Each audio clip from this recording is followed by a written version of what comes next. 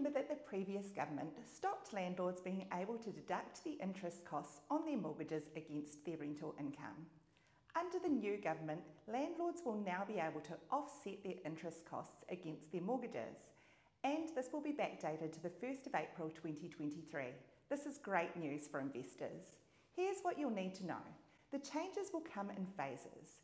This tax year, investors can claim 60% of their interest costs, 80% the year after, and 100% in 2025-2026.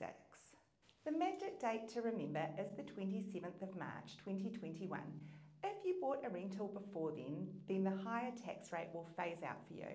But if you bought after that date, you won't be able to claim any of your interest when calculating your tax, at least not for now.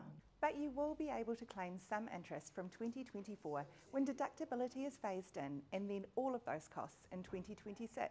The bottom line is, over time, many investors will pay much less tax. For example, if you owned a rental with a $500,000 mortgage, you could be better off by 115,000 over 15 years under these rules. Interest deductibility can be tricky to understand. If you have any questions, please give us a call. We're here to help.